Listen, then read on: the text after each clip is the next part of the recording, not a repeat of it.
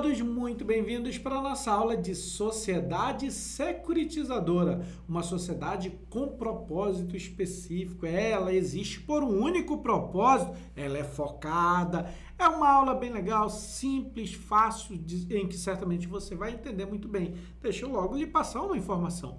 Uma sociedade securitizadora não é uma instituição financeira, é uma empresa não financeira, porém vamos entender o que ela faz. Vamos lá.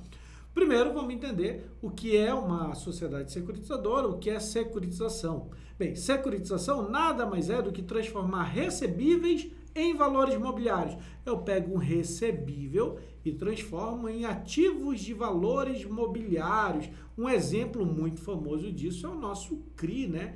CRI é um ativo de valor mobiliário, em que eu peguei ali um recebível e transformei em um ativo. É isso que uma sociedade securitizadora faz, transforma recebíveis em valores imobiliários. Mas aí você vai dizer, pera lá, pera lá, pera lá, o que é recebíveis mesmo? Recebíveis são direitos de crédito, são direitos creditórios, é um direito que, que você ou determinada empresa tem de receber algo. Por exemplo, um aluguel é um direito de crédito, é um direito de recebível, é um direito creditório, porque eu tenho direito de receber aqueles valores que estão acertados nos contratos, não tem não? Um, bola, um boleto, um bolato nada, né? Um boleto, um boleto é um direito de crédito. Eu tenho o direito de receber aquele valor que está no boleto. Então, isso é um recebível. Ainda, duplicata, eu já falei, cartão de crédito. Quando você passa cartão de crédito numa loja, um determinado maquineta de cartão vai gerar um recebível, que é um direito de crédito. Uma empresa, uma loja, uma pessoa vai receber isso. Então, direitos de crédito são recebíveis, né? São duplicatas, são cartões de crédito, contrato de aluguel, por exemplo, e vários e vários e vários outros.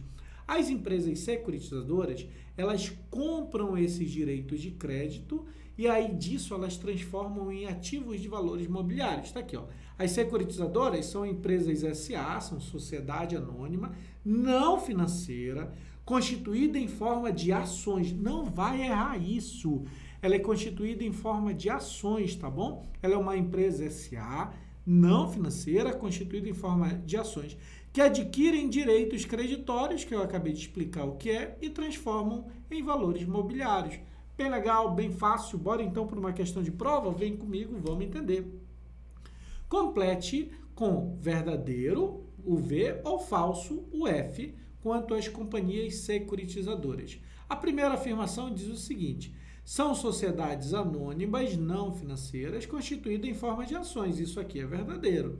A segunda afirmação: adquirem direitos creditórios, adquirem recebíveis, direitos de crédito, sim, adquirem recebíveis diversos, adquirem direitos creditórios e convertem em tipos de valores imobiliários. Sim, as duas estão, é, são verdadeiras, né? Verdadeiro e verdadeiro.